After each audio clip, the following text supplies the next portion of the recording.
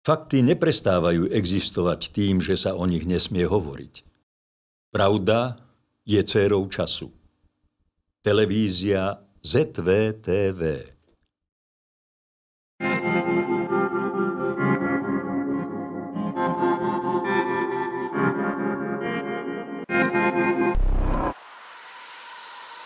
Dobrý deň, sledujete ZVTV, reláciu Dialógy a mojím hostom je dnes Roman Michalkovi, to je štúdiu. Ďakujem za pozvanie. No veľmi som sa na teba tešila, lebo ty si ten náš host, ktorý hovorí aktuálne udalosti. Takže nebudem sa pýtať ja, čo teba chytilo za srdce, ako z aktuálnych vecí. Zrejme sa dohodneme, ale ano. poď na to. No tak asi najtop témou uplynulých dní je e, kauza chata, alebo chatovica, ako sa hovorí. Uh, no a k tomu treba povedať možno niekoľko vecí, ktoré mainstream nepovie. Prečo to vlastne vzniklo? Čo to znamená? Aké veci sa tam porušili? Takže ono, to je oveľa prozaickejšie, ako sa zdá. Ten problém bol v tom, že ako vieme, Tibor Gašpar a Krajmer a Hraško e, boli pustení na slobodu 4. novembra. Vyšetrovatelia Čurilovci vedeli, že je veľký problém, že je absolútna dôkazná núdza a potrebovali za každú cenu vyfabrikovať nejakú kauzu, ktorá by donútila sudcu predlžiť väzbu. No a keďže to sú bezkrupulózni ľudia, tak rozmýšľali, čo urobiť a jediné, na čo ich napadlo, je, že dali extrémne prostoduchú vec, že teda pytliactvo, lebo samozrejme nebudeme tí, čo žerú seno, určite sledovali pohyb e, lídrov opozície, Fica a tak ďalej, vedeli, že pravdepodobne tam majú nejaké kvázi dôverné schôdzky. Ten základný problém bol v tom, že uh, ono to vôbec nevyšlo. A ešte jedna vec si treba povedať. Aká je stratégia tých e, vyšetrovateľov? Oni maximálne pracovali na Dušanovi Kováčikovi, tam dali max toto. Podľa mňa aj tak to, čo urobila Pamela Záleska, je ťažké ohýbanie práva. A pravdepodobne, tam, tam záleží, ktorý zo Senátov Najvyššieho súdu to dostane. E, z piatich v dvoch prípadoch má šancu spravodlivý proces, v troch prípadoch je to zabité, potom sa ide na Európsky súd pre ľudské práva. To všetci vedia, aj ľudia z branže a tak ďalej. Čo je ale podstatné. Uh, oni teda pracovali na ňom, robili všelijaké úkony, listinné dôkazy a tak ďalej. A týchto z očistca nechali len v kolúske 8 mesiacov, v podstate nerobili nič a verili a dúfali, že sa zlomia. Hej, tam absolútne príšerné podmienky, pár štvorákov, to normálne, že slabému charakteru začne kapka na karbit a dúfali, veľa kajúcnikov takto zlomili. Problém bol v tom, že z očistca sa nikto nezlomil.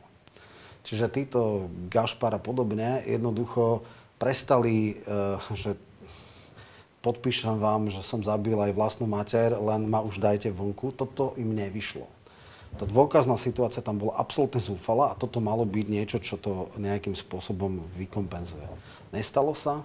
Keď videl tie bláboli sudca, tak okamžite to zmietol zo stola. No a potom prišiel plán B. No tak dobre, máme tu niečo, nejaké, nejaké špinavosti, nejaké pseudokompro, ktoré e, nám síce trestnoprávne nevyšlo, ale tak čo s touto špinou? No tak hodíme to prestitujúcim médiám.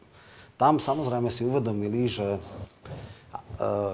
na to, aby prvý výkop zase mala Monička Todová, to už je príliš preflaknutá tvár. E, ona už mala aj teraz problém s tým tom, že dekonšpirovala utajeného svetka. Tým pádom celý ten inštitút utajeného svetka je v podstate zbytočný, zbytočný lebo dôverovať. pokiaľ si povie niekto, že ja kostelný poviem, že masívne vynášame zo spisu.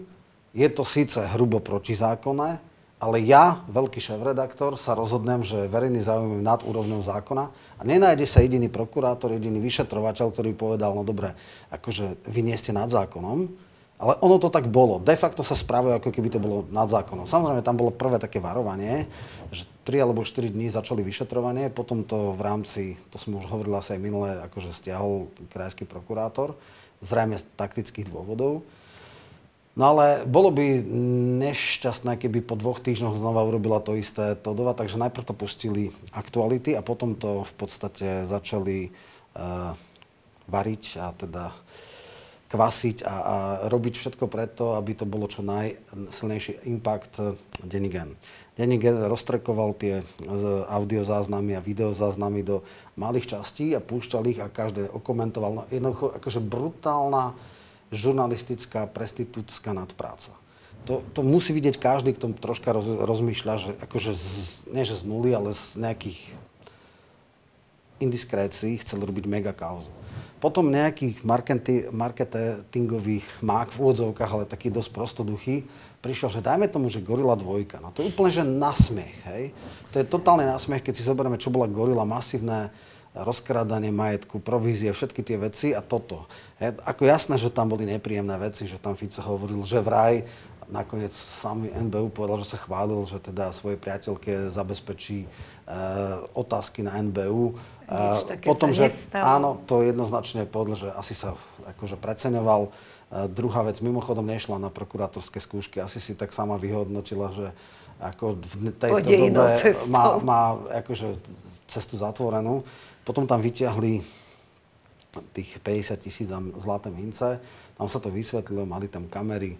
Ale podstate- šialené je, že podala trestné oznámenie Nicholsonová. ale jasné, a ešte To tuším, už- dostal.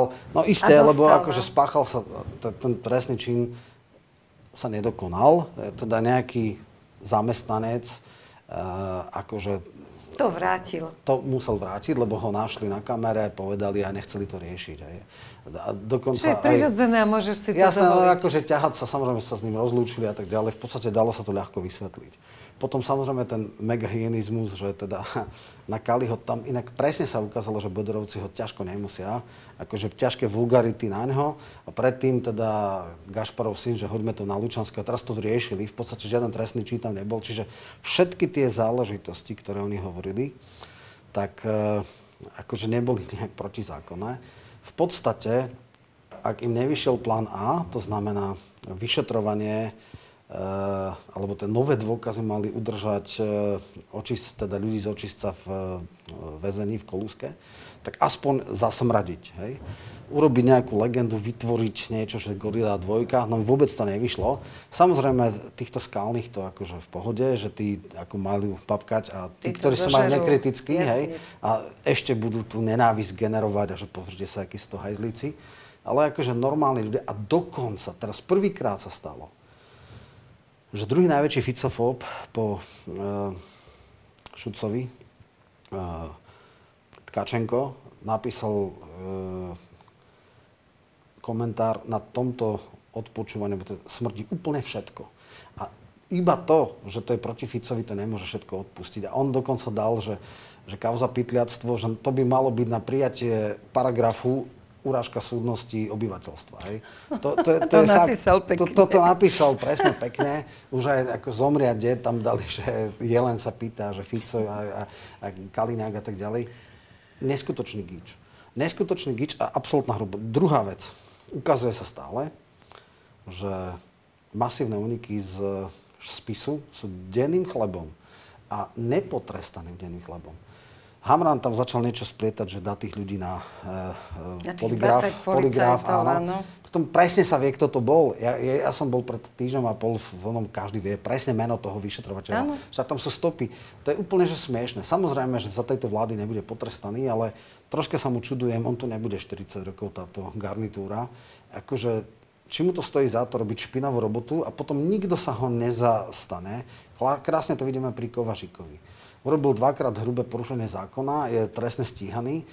Mikulec ho absolútne hodil cez palubu. Kašle na to, jednoducho ten človek kvôli kolaboráciu s touto morskou lúzou e, si to vyžere. Áno. Jasné, nebol to nikdy charakter, vždycky to bol oportunista, ale malo by to byť memento pre tých, čo im slúžia, že pozrite sa, ak e, im budete e, prekážať, alebo ak urobíte hodia. niečo, tre- t- áno, nemajú milimeter lojality, títo ľudia sa na vás v sekunde vykašľú, tak si rozmyslite, či takejto zberbe budete slúžiť do roztrhania tera, tela, budete uh, brať zodpovednosť a oni sa vám budú smiať. Oni majú imunitu, oni budú znova zvolení a vy budete uh, za svoju špinavú robotu pre nich trpieť. No. Aj vaše rodiny. Napríklad. Ale vôbec, no však iste, keď niekto stratí prácu alebo bude trestnoprávne stíhaný, možno väzobne, či im to stojí za to. Akože ja neviem, aj tomu Hamranovi, aj Čurilovcom, oni si myslia, že, že koľko tu budú, koľko budú beztrestní. Áno, dokiaľ bude táto vláda, tak asi im zakryjú chrbát, ale pri Kovažikovi sa ukázalo, že neurobili mu nič, milimetr mu nepomohli. Nehovorím, že to by bolo fajn, ale akože to je ale napríklad... očakávalo by sa to, hej, že keď to je napríklad ja rozdiel od, od robotu, napríklad pomôž. Fica, ktorý je v tomto až iracionálne lojálny, že nikdy sa, ja neviem, aj na Kičuru aj tak ďalej, kde už politicky to bolo vysoké náklady to malo a stále sa ich zastáva, čo je politicky chybné, Ale ale, on to robí. Ale áno, áno. Tam sa ukazuje, že oni sú aj že ľudsky bezcharakterní.